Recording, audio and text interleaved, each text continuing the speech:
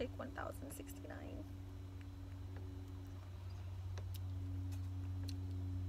Hello everyone, it's Why Pharmacy Wednesday and my name is Anne Reyes. I'm a second year pharmacy student at the Meridian campus and I'm just dropping by to let you guys know why I chose pharmacy and why I chose Idaho State University. Um, I've been working as a pharmacy technician for a little over 15 years when I got in the program. So I've worked with plenty of pharmacists, most of them great, others not so much. And in all honesty, the not so much ones are the ones that motivated me to pursue a career in pharmacy. Um, they made me realize that, you know what, I can provide better patient care.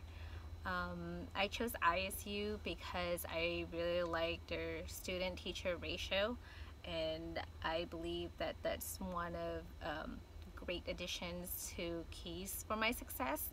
Uh, their dedication to education and ISU's um, reputation for producing quality pharmacists definitely just some of the few reasons why they were on top of my list.